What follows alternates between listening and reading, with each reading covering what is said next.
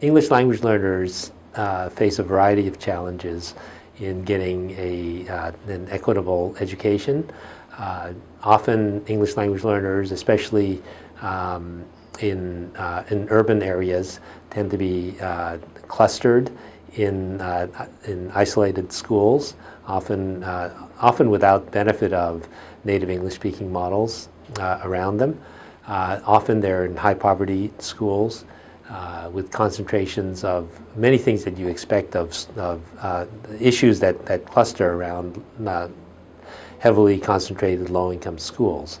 Uh, teachers with uh, relatively who are unprepared uh, to address their language needs. Um, so I think that's one.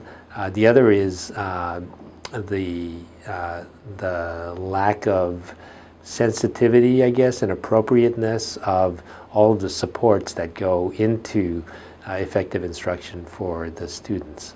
Um, and so it's not just around teacher uh, preparation and professional development, uh, but also around uh, materials, uh, language uh, that's accessible to the students, engagement of parents appropriately in their education, so and assessment and accountability, the kinds of tests that are that that they're they're given, which is often not uh, sensitive to or might be heavily laden by language uh, rather than um, uh, being uh, uh, rather than assessing the, the, the content of the, of the subject matter that's being addressed.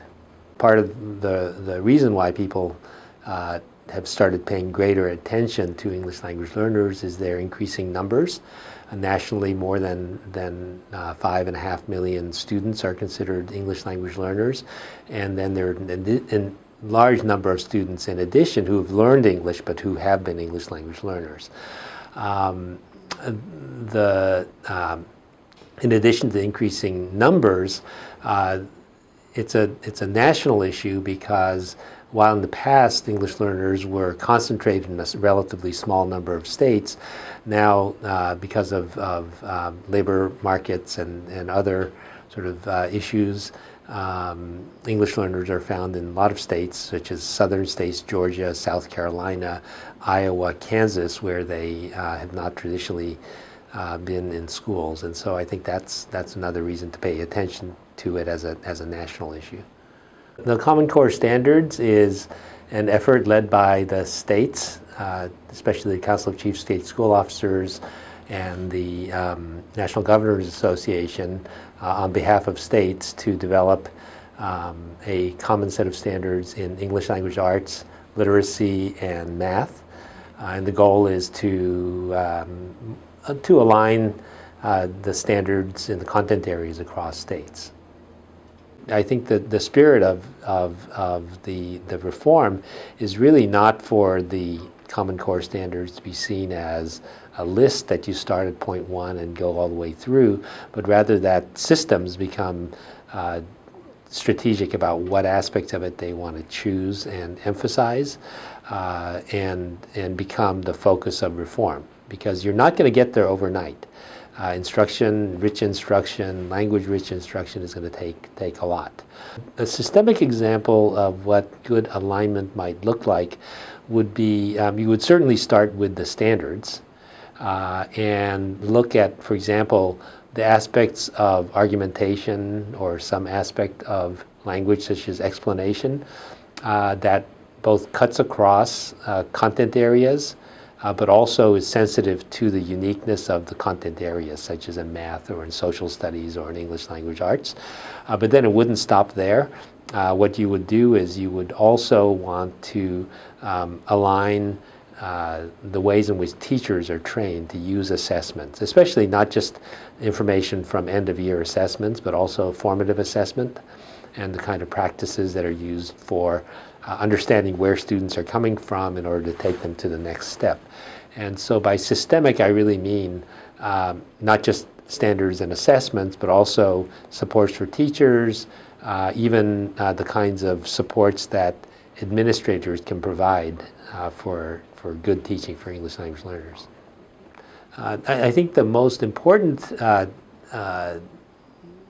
understanding that, that policymakers need to have about English language learners uh, is that uh, while the challenge of the Common Core is in setting a high bar uh, and, and trying to be, in some ways, realistic if we are to, to really have college career readiness goals, uh, that the, the bar is being set extremely high, and therefore that the challenges for English language learners is especially going to be challenging because they have traditionally been um, been challenged by meeting meeting standards, uh, both for reasons of language as well as the poverty that often accompanies the uh, uh, uh their status as English language learners.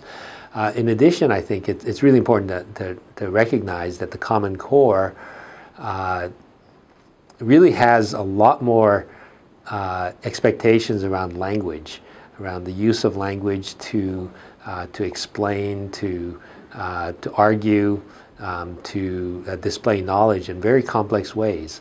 And so, uh, be, you know, being able to solve a mathematical problem is very uh, uh, is, is challenging enough. If, if in addition to the mathematical uh, challenges, you need to to verbally explain how you arrived at an answer, that's going to really uh, up the ante as far as what, what, what students need to do. So I think that's that's really important. Um, I think policymakers also need to know that English language learning takes time.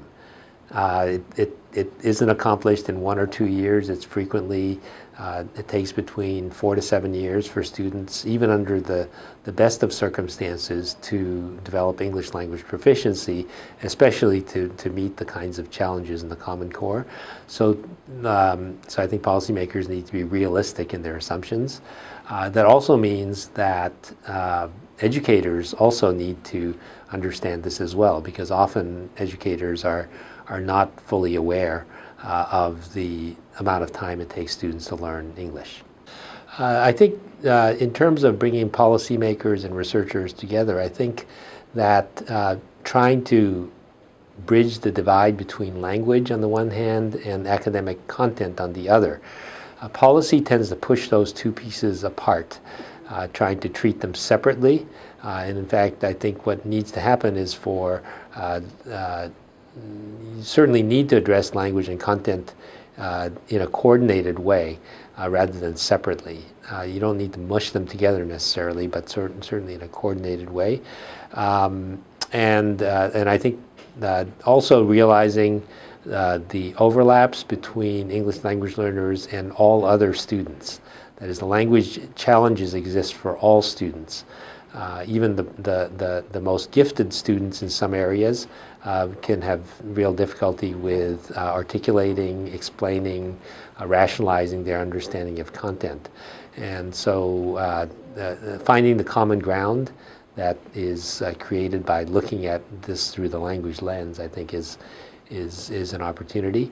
Uh, I think it's uh, um, policymakers especially are, are pulled more by political forces which tend to divide rather than unite. And this is an opportunity to, to bring, help people find common ground.